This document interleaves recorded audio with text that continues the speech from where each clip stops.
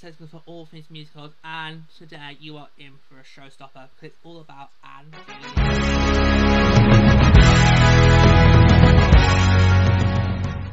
Alright, before we get started with the show, and Juliet, there is life after Romeo. Get whisked away on a fabulous journey as Juliet ditches her famous ending for a fresh beginning and a second chance at life and love her way. This hilarious musical flicks the script on the greatest love story ever told and ask what would happen next if Juliet didn't end it all over Romeo. Our principal cast features Juliet Capulet, Anne Hathaway, April, William Shakespeare, Lance Dubois, May, Romeo Montague, Angelique Nurse, Francois Dubois. Alright, it's time to start talking world about this shirt, and I absolutely, highly recommend it. It has literally shot up to up there, my personal favourites. Um, oh, I wish this was done the West End. But anyway, um, yeah, absolutely, just loved it. Oh, I like how I kind of wish Six was around when I was in year six. We did Tudor history. I so wish this musical had been around um, when I used to GCSE English. Because obviously in GCSE English you have to do uh, Romeo and Juliet. Um, unfortunately for me, I was stuck with the Leonardo DiCaprio film and Shakespeare in Love. But uh, I would have so loved this to have been around during when I did GCSE English because I think I would have got A star. I mean, it's just so brilliant. And what I loved about it is how this is a jukebox musical. Um, it's absolutely brilliant. So you've got all these amazing songs from various artists that, that are well in the charts. A lot of them were done by artists that I like. So obviously, you know, Demi Lovato, Jessie J, Ariana Grande, Kelly Clarkson, Katy Perry, so I knew, so obviously a lot of these songs already new. And I was interested to see how you're going to take these um, well-known chart-topping songs and incorporate it into a musical set in, you know, Shakespeare's England. And I think they did it absolutely brilliantly well. Choreography was um, amazing. The way the songs were structured, brilliant as well. I thought was ab- I thought was absolutely brilliant. And there's no orchestra. It's all done by a backing track. Yeah, because when I because when I went to see it, there was literally there's no there's literally no orchestra, so you got no so no conductor, you can you can see anything. It all was done by backing track. Now that is a completely new experience for me. Um, for a musical. I'm not saying that's the way we should we should go forward. Um, I mean, who knows? Maybe one day that is how musicals will happen. But wait till I die. I mean, who knows? One day we might have musicals where it's all done by, you know, the backing tracks. You've got to just basically go along with along with it. And if you're out of time, you're out of time because it is very hard to sing along to a song. You know, where you've got just the backing track. I mean, when you've got an orchestra, it's easy to do because you, because you can, because you know that they're there, you can tell they're there, but it's just a backing track. You've only got one shot, and if it goes wrong, you go wrong. But, so who knows, maybe that's the future for musicals, is that they'll all be done with, you know, just backing tracks and somebody just pressing start and stop. Uh, maybe that's the future. Just wait till I die, okay? Then do that, okay? Wait till I've gone to the, to the other side and torturing everybody in either heaven or hell with my musical theatre theatre knowledge and, and, and love of show tunes, and then you can do that, okay? Um, it was really, it was really interesting to see how how they're going to pull it off, and they did. I did wonder if there were times maybe when the when the when he when he when he backing track was maybe a bit too loud, maybe. I don't. I was wondering. I, I, I just felt maybe maybe there were maybe a few times where I thought maybe the backing track is swallowing the the the, the actors up a bit. Uh, I just thought maybe the backing track was maybe a little bit too light in certain places, but it was absolutely um, really um, brilliant. Um, absolutely um, amazing. And another thing that's really interesting that I don't think I've ever seen before in a musical is how you've got the cast members come onto the stage before we get started. Now that stage where you go, where you walk in, is absolutely brilliant. The scenery is on there. It says, "Oh my god!" Straight straight away, I'm just like, I'm blown away. We haven't even started yet. But that scenery is gorgeous. Yeah. So the cast then starts to sort of and what's sp- sp- sparsely then walk onto the stage. You think, oh, what's this? What's happening? It's a, pre, it's a pre-lash. But no, it's the actual cast that have taking first positions. And then immediately the music's going to begin to get the first number and we're in. And I thought, what? I was like, wow, that is. I don't I've ever seen that before. Um, because normally the curtain would be down. You would have the curtain. The curtain would not be raised. Be, the curtain would be fully down, so you be able to see everything that's going on on the stage until we have the curtain up. But the fact you did have the curtain, but the fact the curtain was not was already raised, it was already up. You get obviously to see what's like going on in like those few moments before we begin the show. And the curtain goes up for the first number. That was really interesting, and it kind of felt, felt like wow. It, it kind of felt a bit like Disneyland. Because obviously, if you go to any Disneyland, you know their stages. They just have the sets and scenery all set up, and then as soon, and then eventually, you know, it begins, you know, and the castman will come up. So I thought that was really interesting. That, that's yeah. So Angela's given me two big things I've never seen before in a musical, and I feel it would be interesting to see if there were if, there, if that was done in another musical, just so I can make a bit of comparison between between two. Because I thought actually it, it, works, but I'm just wondering if it would work for another musical. Um, but yeah, so that's. Uh, I, I, honestly, I just loved you know the idea behind it, like how the, the story. I loved how this is kind of like a a what if scenario. You know, like what happened. Obviously, Juliet did not kill herself. I thought it was really interesting. I just loved the bicker between um, Alan and Shakespeare about how to go about it. It was brilliant, and I did love some of those bits where you have them go like lights out. And it's like, oh, what's happening? And then, and they're basically now making a bit of a balmy, a tip on the stage. It's a bit like in lot when you do like some role play, you just out reality. Yeah, that was that's brilliant. So you had lights out, right? Okay. uh, you know, okay, we're a little, a little bit of reality here. That's brilliant.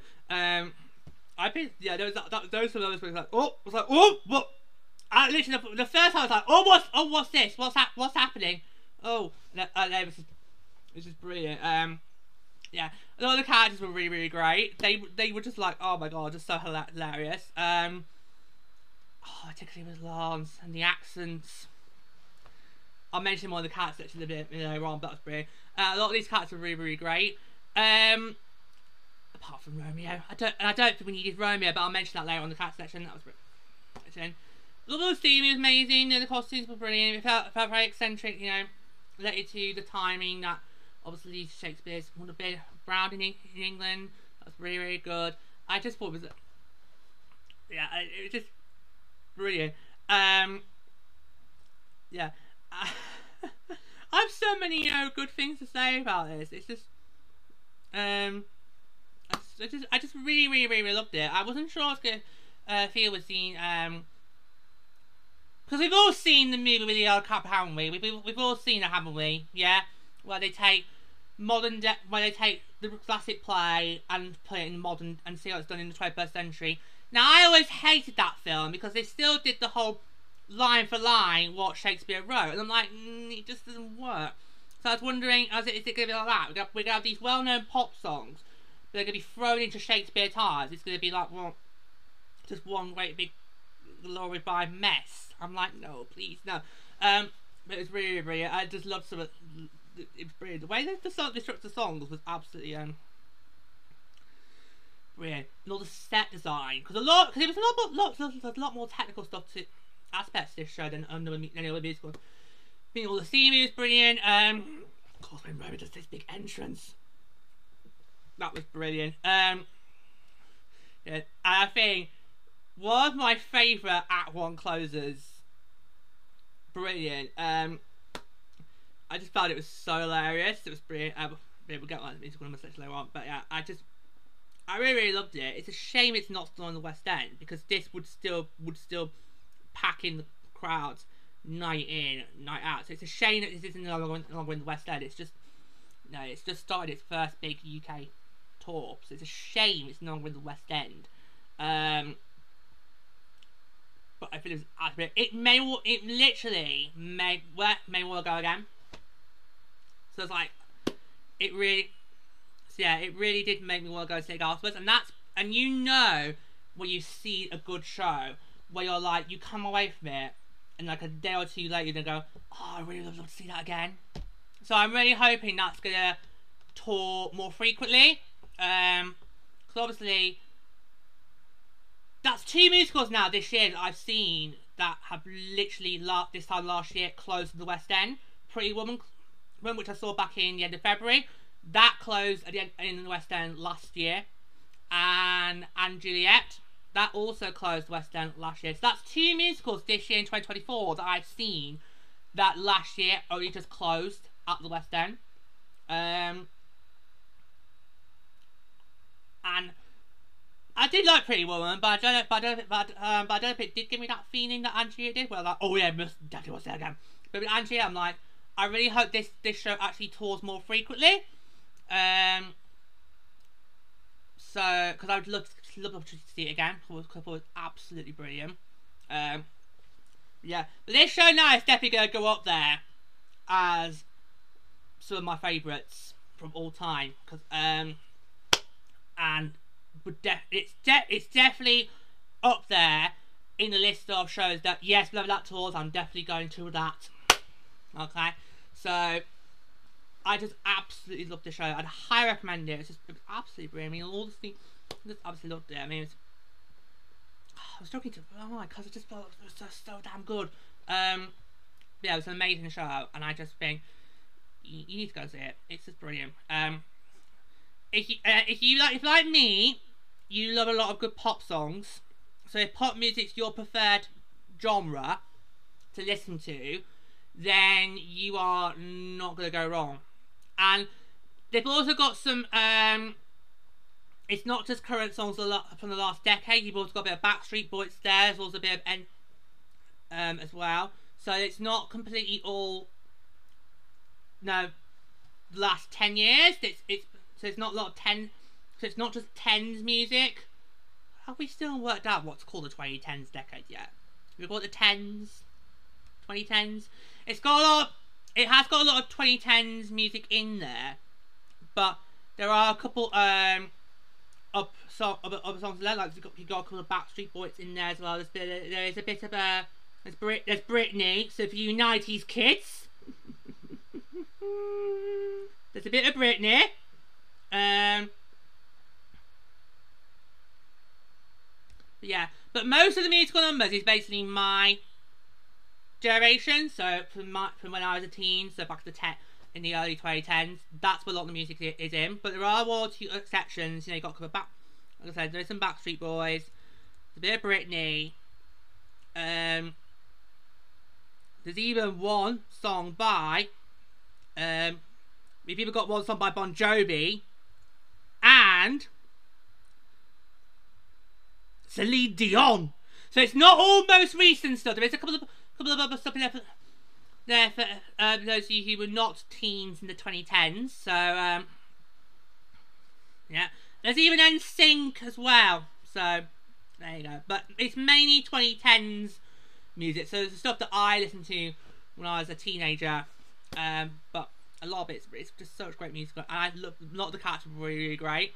Um, yeah, and some of them I thought were really, really great. And, and there was just so many great lap out moments as well. I mean, I was literally trying to hold it in some time because like this is just got me in this got me in stitches.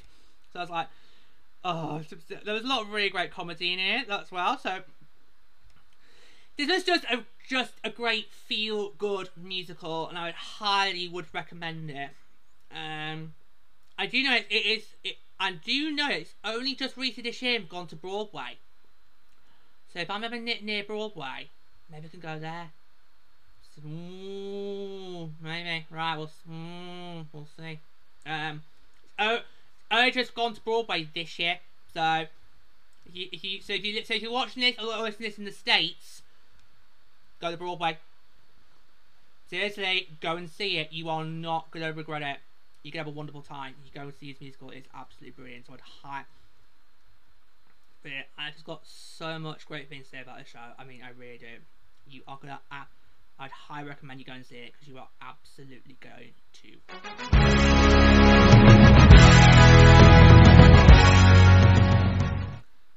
Alright, we're now going to focus on the musical numbers. Now, as I mentioned, um, a lot of these songs are well known chart toppers from the 2010s, so back when I was a teenager. Uh, there are a couple uh, exceptions though. Obviously, we've got a couple of Britney in there. There's one. There's a song from Bon Jovi. There's a song from Celine Dion. You got the lens in there, but yeah, but it's ma- it's mainly you know my teenage years. That's where a lot of this music comes from. Um, it's absolutely brilliant. So we've got a lot to get through. I mean, we've got a lot of musical. I've got the I I have got the soundtrack it's about what 29 30 songs on there. We've got a lot to get through. Okay. So let's go in at one. So at one we have larger than life. I want it that way. Baby one more time. Show me the meaning of being lonely. Domino. Show me love. Blow i'm not a girl not a woman. Overprotected. Confident Teenage Dream, Break Free, Oops, I Did It Again, I Kissed a Girl, and It's My Life. Right, I'm going to try and get through as many as possibly can, because we've got a lot to get through. Um, okay. So, Larger Than Life is a bit, is a bit interesting, because I mentioned, obviously, the way this, they start the show, with the, uh, most of the cast already on the stage already, um, it's kind of them to just, you know, get everybody introduced, you know, introduce, bring Shakespeare on stage, um, it kind of feels like it's just quite, quite clear intro numbers get started. Because we then lead to obviously I went that way, which is much more brilliant. The way Shakespeare just keeps dabbing the quill. Because it's basically, I went that way, it's basically Anne Shakespeare have this club, lover's tip about, know, I'm like, I originally played this way, and Shakespeare like, but no, I want it that way. I love how every time Anne tried to argue for her side, and I think from seeing the audience like, I kind of know where this is going. She Anne's gonna gonna get her way, because otherwise, what are we doing here? We may as well just go home now. But I just loved how Shakespeare's sort of like, no, I'm the man, I'm the dominant one here, I'm in control, I'm the playwright.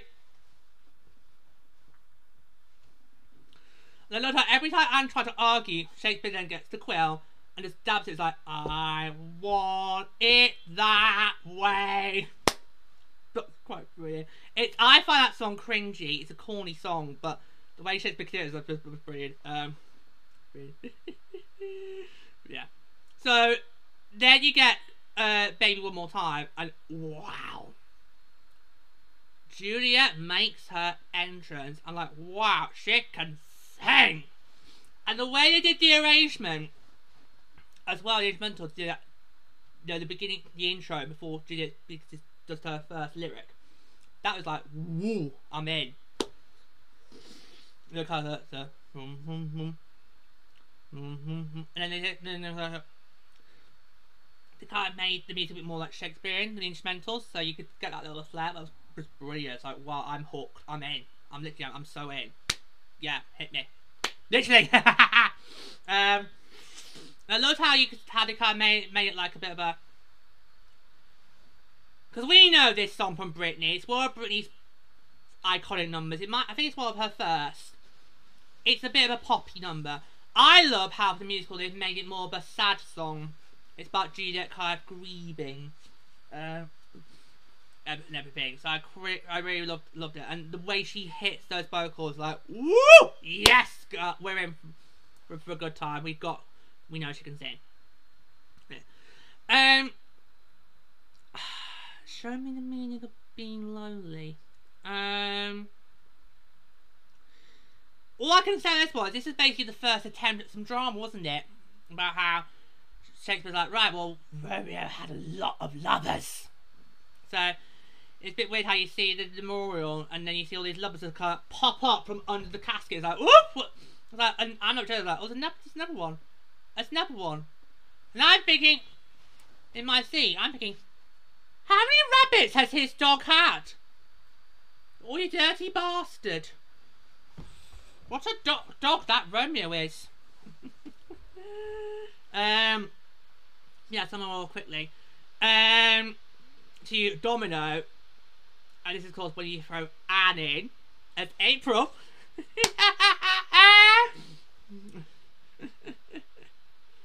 Lights out on our Save the Character section. Lights on! That's brilliant. The, the, the, no, Juliet, the friends, and, uh, and Angelique, they're gonna go, gonna you know, this is kind of song where they go, you know, hit free, they escape Verona, live their whole life, um, really let, let their hair down, kind of, cause it is that kind of song that Jessie J has predominantly. It's, it's one of those real upbeat uh, songs from her first album, which is brilliant. Um, yeah, um, and it just kind of feel like one of those let your hair loose down. It's Friday feeling songs, so it's great to see you did that on stage. Ah, oh, now, um, I loved Blow. I honestly did love Blow. Because this is when they try to get the gate crash the party. And I'm glad they went with this and not Busted Glad I Crashed the Wedding. Because you could use that and change the lyrics to Glad I Crashed the Party. But I'm glad they with Blow by Kesha and not Glad I Crashed the Wedding by Busted. Two good songs, but Kesha, for this situation, works better than Busted. Okay. Um, for me, I loved how they're just like, we're, we're our 20s. like, you try to convince me. Yeah. You're not fooling me. I mean, she's definitely 13. Oh, sorry, 14. I love how was like, lights out! I am not going to a nightclub with a 40 year old. No, you're definitely not, Anne, because I think that's illegal. And Shakespeare's like, well, they're in their 20s. Lights on! uh, so I love how they just crash it, and it, it and they just they literally you got the everywhere. You got Juliet literally on the chandelier. So like so yeah, because they reference she referenced that before we then get May's number. And I'm like, I was thinking, are you telling me I just missed Juliet to see her? You know the number? Yep. Kind of glad we didn't get that though, because I'm not sure I could put can handle that that that song with the high notes. Oh, Sia goes hard that number like she actually was thinking for the chandelier. But I think she's thinking, oh my god, are you telling me I missed Juliet's to Sia? I miss all the good bits. It's not fun. Honestly. Um. Yeah, because that clearly was going on when Main Francois, Frankie, what we're going to call him, probably had a little moment. Um. But, but, yeah, but Blow, loved it the glare everywhere, chandelier swinging, the fact they were just like bossy and and just like being just like yeah no family yeah, and that poor door doorman, he had no chance. I love how he does come in to try and go like. Tonight we're taking names cause we don't mess around.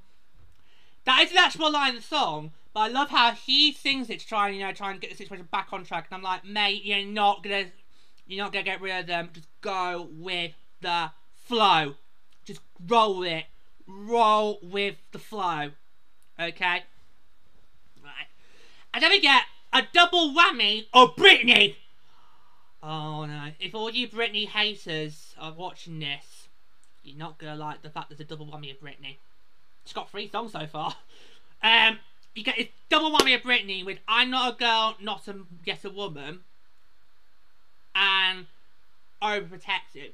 Now, poor May, you've got to feel for May a lot in this show. She May feels really confused a lot of the times because they've been there trying to, they're trying to notice how I'm using the word they, because we don't know if it's a boy or a girl, so I'm making use of pronouns, not misgendering on this show, not way. Um, I love how I love how they portray about someone being confused, one trying to work who they are, and you get this beautiful number. That's brilliant. And then, brilliant, which is a shame because you then then go to a silly kooky number with Francois and Juliet. And I, and I, and I was like, wait a minute. That's not the guy. That's not the guy who who just had a googly eyes at Mel the Dance, was it? It better not. It better not. Oh no, it is! Oh, oh God! Here comes the drama! Rip a wig! Rip a weave! Sashay! Oh! I didn't clock. I didn't clock at first. I didn't clock that first. Like, oh no, it is the same guy. Oh no. No, not a triangle! Not a triangle! Lights off! William, we are not having a love triangle. Fire! Lights out on! I thought them a completely stupid and kooky. Um, and then you go to Confident. I loved it. This is basically Juliet basically telling Francois to have Dutch courage, go defy your, your dad. I love how she's more controllable and he's just like freaking out. But what's brilliant is they're getting mental, and then you have Lance comes in, yeah, just having just grabbing a barmy. Then Angelique comes in, and then they're like, and I'm like, Juliet, I'm like, wait, you two know each other? Tell us more! Tell us more! So I love that because it's a because obviously it's Debbie's favorite artist. So I love this song. I loved how, how it's full beat, loud and proud. I love Juliet being like the boss woman here, like she's now building herself up with her confidence. And it's brilliant how it's, uh, it's meant the the the the, play pick, picks the the story picks back up, and then it's like, ooh, hello drama. Wow. So speaking of the drama. Angelique Lance, why did this number have to come in literally after they've done the dirty? Because clearly it was makeup sex. Because the two of them, then obviously they've had a nice bit of mm, tristing, bonking, whatever we'll call it. So they was either in their nights out a lot. And like, the way Lance has tried to be like, you know, manly and spread and spread eagle, I'm like, this is not, no, no, there's probably children here, no! Cover your eyes, please cover your eyes. Don't look at the crotch. Don't look at the crotch. Eyes up front. Like, oh. And it's a bit like Carlo. Oh, chase me. It's like, it's like, uh, oh, it's, it's, it's cringy. But it is so darn funny at the same time. And I'm like, where do I look? I'm, I'm in my late 20s. Where am I to keep? Where am I supposed to look? Oh, oh, oh, no.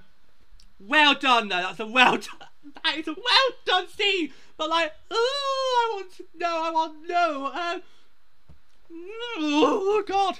Oh my word. That should be the point where you have to then leave the room. This is on the telly.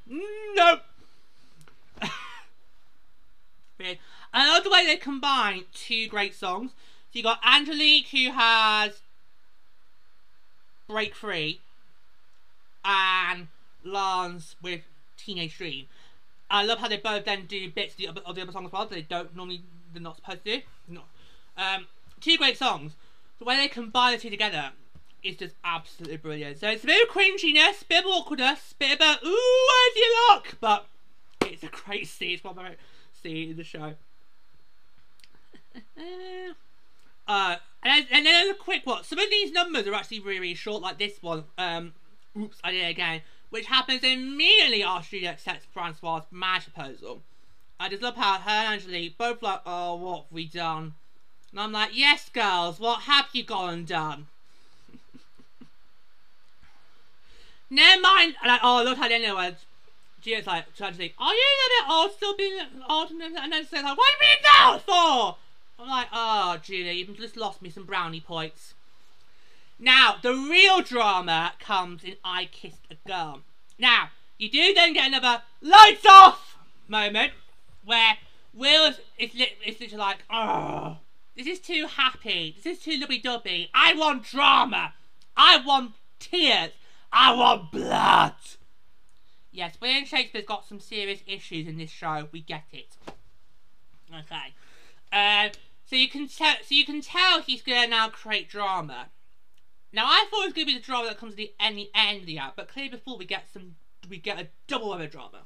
So you got May and Francois. And I've got no clue at this point, like what is the situation here, you know, and the two of them do a snog.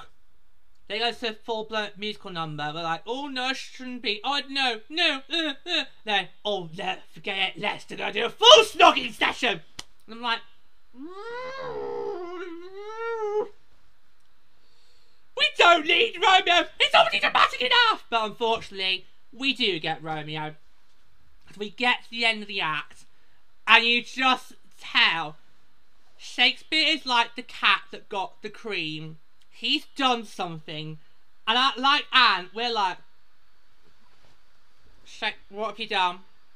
What have you done? I mean, the the grin in face, it's almost like you know. Anyone think you've been doing something naughty upstairs? William, are you too scared to tell mummy?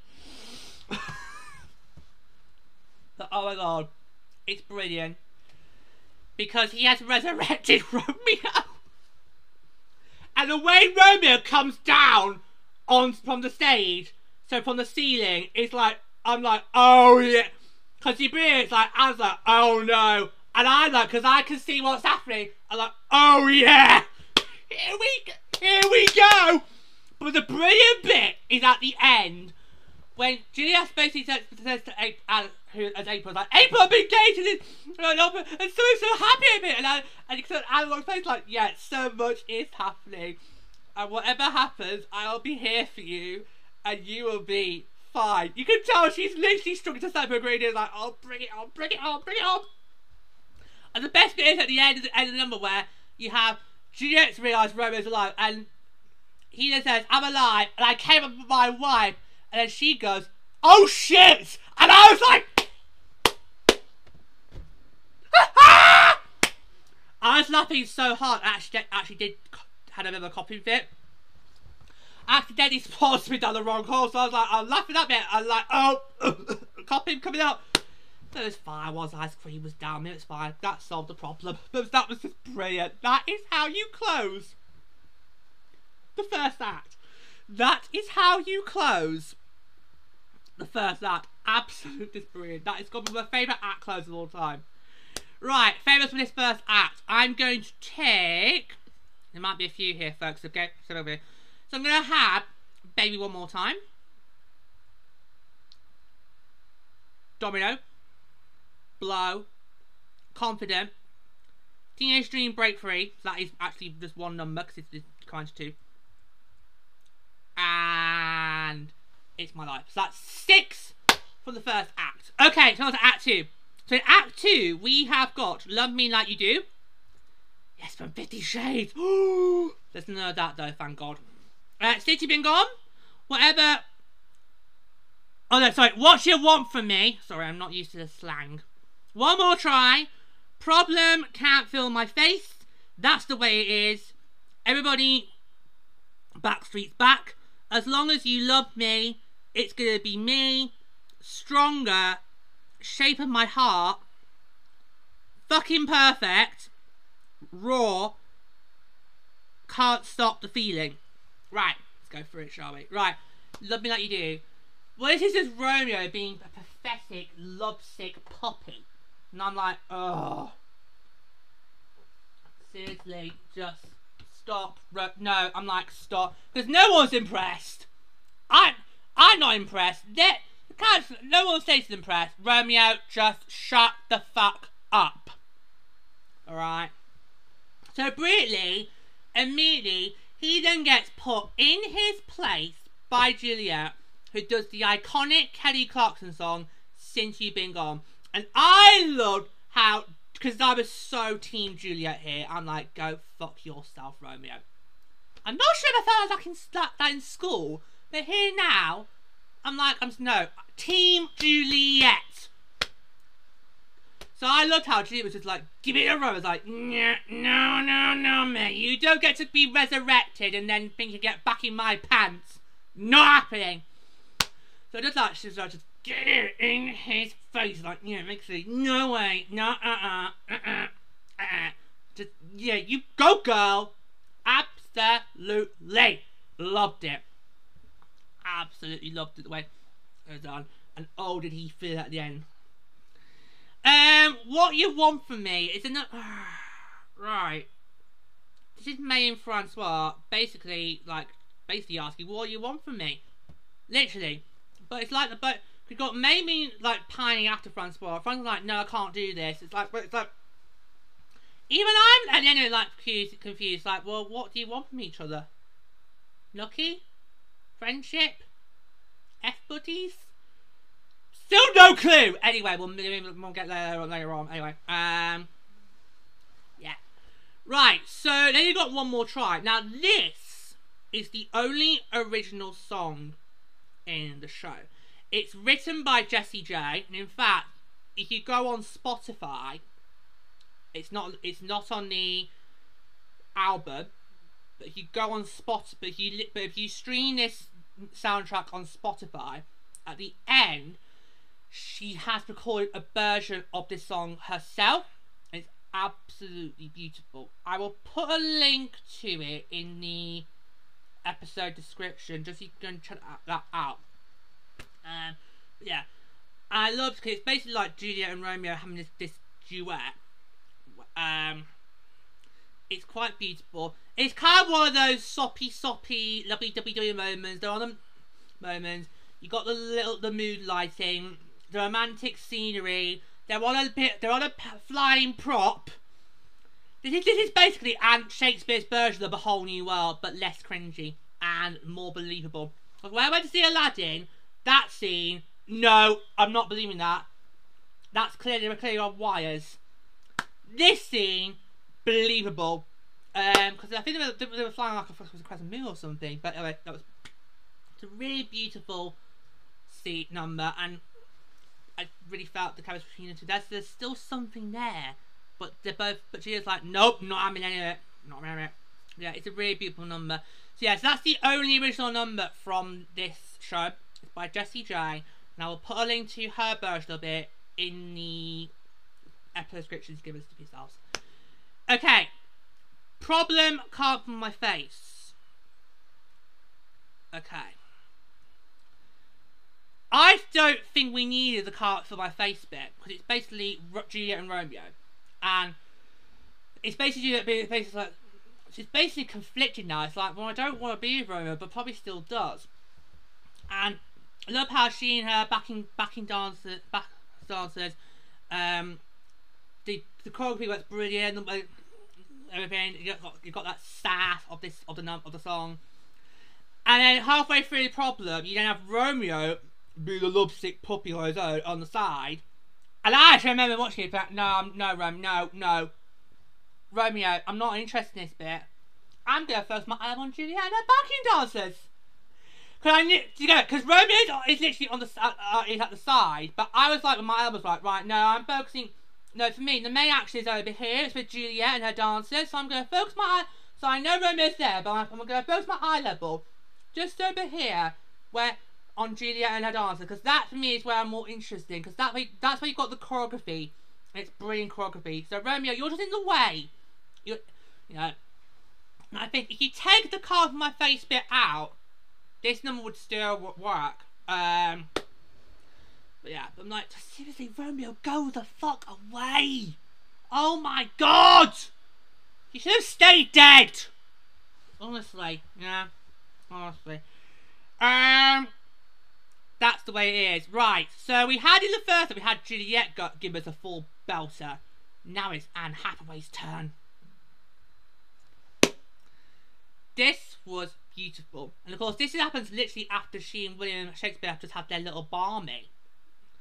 Um, and it's brilliant. And then towards the end, there's even a bit towards the end where the uh, it's done a cappella. And oh my! Did Anne belt those num those notes? Like wow! Jaw drop. Amazing, absolutely amazing. It's like wow, she is bringing it. Um, because she goes on a journey. Anne Hathaway. She out of all of them, she goes on a journey. I'm just like, I'm here for it. Wow. That is wow. It feels like quite a sad song, but wow, I just feel every note of it. Which is a shame because we then go into oh god, the kooky boy band. We've got a Backstreet Boys double whammy with with everybody Backstreet Back. We all know this one, right? We've all heard it. I was literally watching this in my seat, just cringing. I'm like, because they've basically just been doing like they've got the shades on. They're doing like the kind of like, uh, pump of the chest, doing the kind of you know lower the glasses, like, uh-huh. I'm like, and I'm actually thinking, that's not sexy, that's not a turn on. You're not on. And Charles saw, you've probably all got little packages, so, yeah. I just, but why do boy bands think they need to do that? You know, you know what I mean? The whole, like, puff the chest, you know, probably undo a couple of buttons. Tear the sunglasses down. I'm thinking, this is, this is not sexy, alright? This is not sexy, okay? And there are children in the audience. I know because I saw some in, on when I was in the foyer on the way out. So there were so there were children present. So keep all right. So stop trying to tell us all on. There's kiddies in the audience. They we want to preserve their youths. They've got at least ten more years before they learn about that. Anyway, um, but I was just cringing because this is not cool. It's not funny. It's not sexy. It's just give. Uh, uh, uh, uh. And then they try to be all romantic but that's the way it is. I'm like, no, you lost me. You lost me at the, at the first one, so no. Don't even try it. But I think that's the way it is because it's supposed to be Juliet's entrance music. Now, if I was her, and I was going to walk down the aisle, that's not what I would have chose. Not what I would have chose. And frankly, I don't want to answer that question. I love my independence too much. So there you go. Anyway, let's move on. Um, it's gonna be me. Right, finally, Francois May. Finally, it's like we want to be a couple. I'm like, finally. Because I'm like, I cut the confusion out, guys. Tell me what is going on. And if I confess they love each other, it's like, finally. Followed up with another Finally! With Juliet basically telling her to go fuck off! I'm like, I, I, I was like, if you don't do it here, I will do it for you. And I will have no problem giving her one quick backhander. Because I just hated Juliet. Mum was like, who the fuck she think she is? She is. Has a poor high and mighty in a pretty frock, hair over the bun, sunglasses, umbrella. Now that's bad luck club. I'm like, who the fuck does she think she is? So I'm like, finally, finally, Jeanette tells her to fuck off. Finally! You get that, you're stronger. So, two finally moments. Eero and O are they both as impactful? So impactful. Uh, fucking speaking of swearing, you don't get fucking perfect. So Angelique basically telling Juliet she's gonna be okay because you know what you are? You are fucking perfect. Now I actually actually am familiar with that song. And I don't remember hearing the hearing the word fucking perfect. Can we the pretty pretty pretty don't you like you you are perfect. I've never in my life heard that. you are fucking perfect. So I was quite the first one like, whoa, whoa, what? Just, just, just, there, there was not an F word in that. Maybe there was. It's by Pink. And we know Pink does love a good swear. You can't play her Pink songs on the radio without a little bit of a... Be like, oh, swear word. So yeah, anyway. Um, yeah. And then Raw perfect finale number here. Juliet finally becomes her own strong, independent woman. Um, just, I love how Shakespeare tries one more. Oh, I'm not even with you. But then Juliet, but then Anne comes to that note. Lights out. So you can forget it well. It's over. End the show. the girls win. Which I think was supposed to be the point of the whole show, is that the girls win. And fuck you men. well, we were close. We were close, but then she agrees to take him back. So we were, we were close! Anyway. But Raw, it's perfect. It's an absolutely brilliant way to end the show. It's so empowering. And then you get like this kind of little encore with I can't with with with Kaz got the feeling. We know the bit the big number from Trolls. You know that number. Uh, they all just do it's after they've done the bows and curtain calls. They just do it's a great big um encore. You know, kind of like their version of of Bohemian Rhapsody. So you think it's all done, dusty, you can go home, but nope. Get one more. Right, favourites from Act Two. Since you've been gone, one more try. Problem, can't feel my face. That's the way it is. Stronger. Raw. And grab those. So that's six from. So that's six. Yeah, that's six from each each.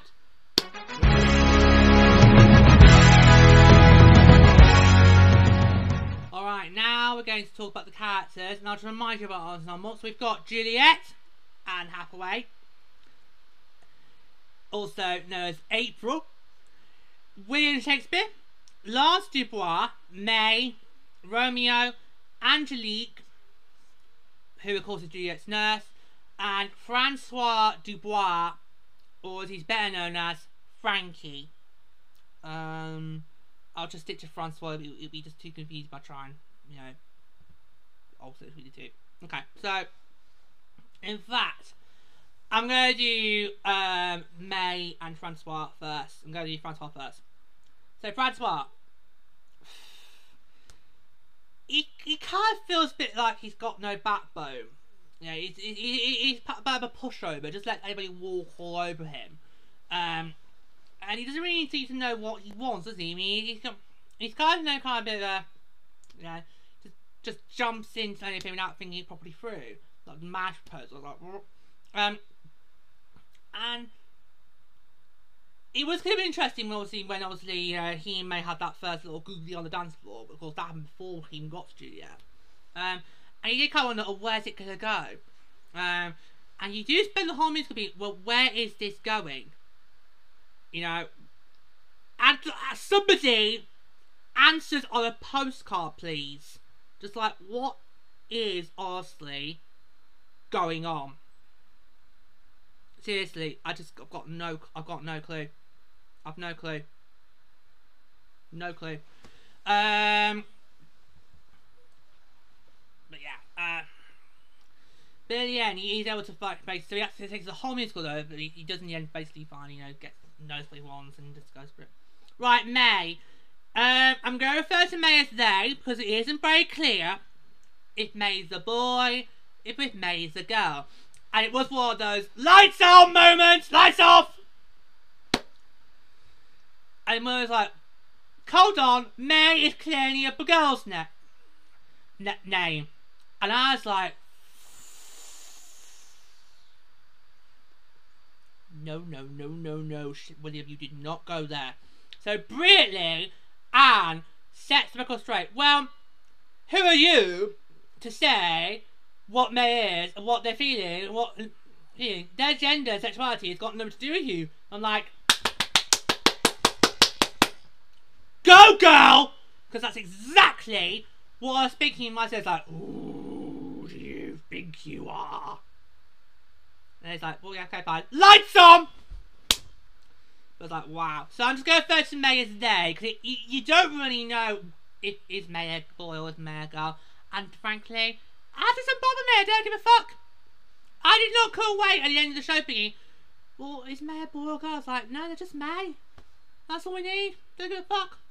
So I don't give a fuck if, what, if we never find out what, what, what gender May is. Don't give a fuck. Could be non-binary for all we know. So there you go. Anyway, but um, I love how they portray May as you know, being like confused and like trying to, and trying to, you know, work out who they are. It's also it's also like May's discovering themselves throughout the whole um, show. Um, but and it's more confident we get into the second half. The second act, in the, yeah, in the second act, May is confident in what you know in what she wants. Is absolutely more confident in what she wants in the sec in this sec. In day one, sorry, did that. Oh, here we go, here we go, here we go. Knew that was gonna happen. May's more confident in the second act with what they want, which is obviously Francois. Um, so I thought you'd see a bit more growth with May in the second half than in the first act, but Knew that was going to happen. I knew I was going to do the misgendering. I knew it was going to happen at some point. No, knew it was going to happen. Right. Let's get Loverboy out of the way. Oh my god, Romeo. Right. I personally think if you take Romeo out of the production full stop, I don't think we would have noticed. I really don't. I really, really don't. Because as Anne says, you're a douche, mate. and, and we, I love how we're just like, he is not a douche. And I'm like, he is so a fucking douche. Douche is not a word I would use for him. I would use the word dickhead. Yeah. Dick, that's what I would use. I was, I thinking, yeah, I'm with you, Anne, but that's not the word, but that's being too kind. I think dickhead would be a more better, better. So I wrote, know. Because obviously he only comes into at the end of the second act, so at the end of the first act, sorry, at the end of the first act to set up the second act drama caused by William. But I'm like, whenever Romeo comes on stage, I'm like, oh my god, not him again. You're just in the way, Romeo. He literally is in the way. It's like you are not needed. Like in one num in uh, one number. I did explain this in the It's the um problem come up in my face number. In that number, I only focus on Juliet and don't pay attention about the Romeo's over, over on the side. Because I'm like, Romeo, I, you are in the way. You are bringing this number down. You're, you're bringing it down. Just So yeah, so my eye level, I just focus on Juliet because there's more going... Because that's where the main focus is. Romeo is just in the way. So, yes. He is so a douche. And I'm like, if he wasn't in this production, I don't think we would have noticed him at all. Because let's face it, Anne's idea was for Juliet to become her own strong, independent woman. And that was going so well until you get the I want it that way reprise and she takes him back. And I'm like, oh. What was the point? What was the point? No. But I don't think we need Romeo at all. I think we could have done without Romeo. I think we could have done without Romeo. Really think we could have done without him. You wouldn't know. If he wasn't here at all, you wouldn't notice. You wouldn't notice. Uh, you wouldn't notice. So I don't we needed him. I think he was just in the way. Tall. Not at all. Um. Okay, I'm gonna do Lance next. Oh my god. Wow. He literally brought the comedy last. Particularly at one point when William Shakespeare's putting this boy band together. And you have Romeo come like, yeah, and does ridiculous accent. And Shakespeare's like, we're not doing accents! And then you have Lance go, we're not!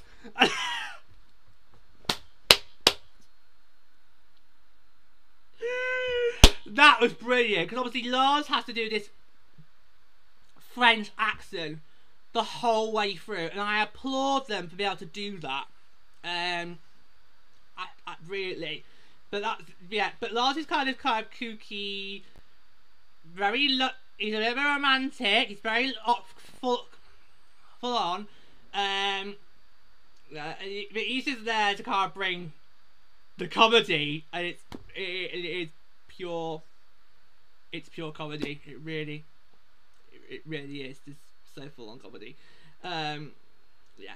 Tell you who also is very comical is Angelique. I loved her, but I love how her comical members are more done more subtly. Yeah. So it's not completely uh, full on in your face. She's but Angelique finds a way to do her comical moments a bit more subtly, so you can then go so you only appreciate a bit more. So she is just trying to be nurse, nurturing, caring nurse. Uh, bigger because obviously in the actual play of Juliet, Juliet does have a nurse. who of course does play their role in the, in the production. So that's kind of what Anthony's supposed to be. But I love how in this show you get opportunity to have to see her as her own character. Because in the play, the nurse is just kind of basically just a side character, whereas in this, Ashley gets to be front and centre, and I think she's brilliant. So that then leaves us with our leading trio.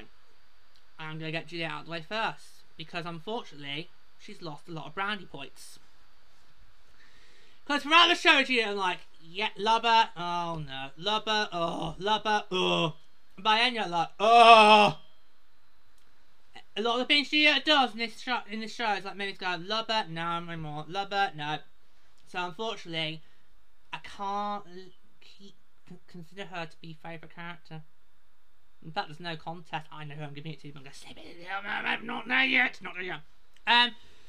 So yeah, so I love Virginia how they try to portray we try to portray what should we like if obviously in the you know in the what if scenario. I love how this moments where she's like strong headed, free spirited. You know, it's like doesn't you know, she's not letting getting away. Um, but it's then so yeah, in the first act, love her, love Jet in the first act because she's just you know, free wind in her hair, you know, holding up ahead of me, not anyone else getting away, brilliant. And then you bring, and this I blame Shakespeare for this. Then you bring douche the douchebag into the into the scenario in that too, and then it all falls apart because Juliet's like, well, do I go back with him? Do I not? Do I not? Do I not? Do I not? And of course, gets to end and was like, well, yeah, I'm gonna take him back. And I'm like, oh, what was the point of being here? You know, what was the point? So yeah, so sadly, Juliet is a character too harsh. First act, she's great. Second act, the magic's gone. And I blame Shakespeare for this. Right, let's get to Shakespeare. He's clearly got some issues he needs to work on. Okay. Because there are moments where he gets a little, where he goes a little bit maniacal, like how when he goes like, "Oh, well, there some drama, I want tragedy, I want of death." I'm like, mate, dial it down. Like, no, just dial it down a notch. All right, just take it, take it down a few, take it down a few, take it down a few, down a few, just a few, just down a few, just okay. He does go as full O T T, and he just loves to remember it. You know. Um, I love how he tries to be the one in control. He's the one that's like, it's to be my play, we're doing it my way, I'm the play right here, it's how we're to do it. Uh, but you can just see he just loses control every single time. Even when he then gets to being it himself, he still has no control. So it's, it's just, it's brilliant. So I love how they try to portray him as more in charge, it is his play, but in the end, he has zero control. And then that leads us obviously to Anne Hathaway. Um, now, at first I thought, oh my god, she's going to be the irritated one and make it all about me, me, me, me, me, me, me, me, me, me. I said this can be for me.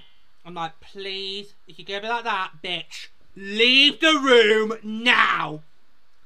Because, oh my god. But actually, no, she then turns it around immediately. I'm like, okay, it's your play. Take it away. I'll just sit back. You go for it. I even love how she actually puts herself in it. When, because when we meet Juliet's friends, like, this is May, it's April.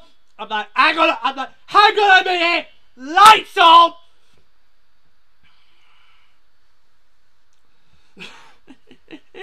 and Blair's like, you cannot be in this play. And then Anne's like, oh yes, I bloody can. Mm, oh yes, I can. Lights off!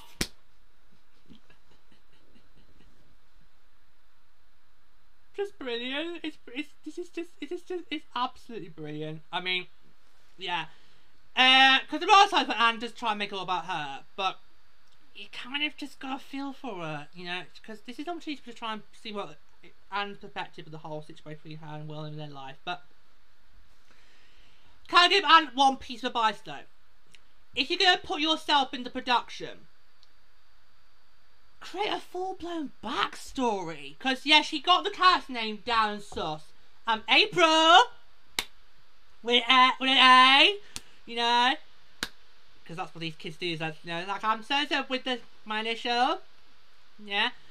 But she keeps the backstory of her real life. So my so I got married to my husband William, we had these kids, and he was. So, but I'm like, if I was April, and I, sorry no, if I was Anne, and I was going to put myself in the play, not only would I come up with a character name for myself, I also would come up with a backstory, you know? I mean, obviously Julia didn't twig, but just in case one does twig, then there you go. That's my piece of advice, but, but yeah, but I just loved her. I mean, first of all, oh no, she's gonna be, she's gonna be irritating one. No, oh no, not right, no. Then merely turns it around. That is genius. For a cat supposed to do that. You think, oh no, I'm not gonna write this, and then just turns it around, straight, straight away. That's genius. That is absolutely genius. Brilliant work. Absolute brilliant work there. Right there. Um, yeah, so I kind of feel like Anne is kind of the star of the show. I think Anne steals the show. Now, I don't know if that was the intention, but she literally does steal the show. And I'm actually love actually love it. I'm actually loving her for it. I think it's absolute. She is quite the wild character, and you are, n- and you are not gonna be able to tame her. You're not gonna be able to tame Anne Hathaway. You're just not. you you just you just can't tame Anne Anne Hathaway. oh, I'm, yeah, I think Anne's brilliant. She really is. Right, so who are we going to name as my favourite character? Okay, here we go. My favourite character from the show is April. Oh, sorry, I mean Anne Hathaway.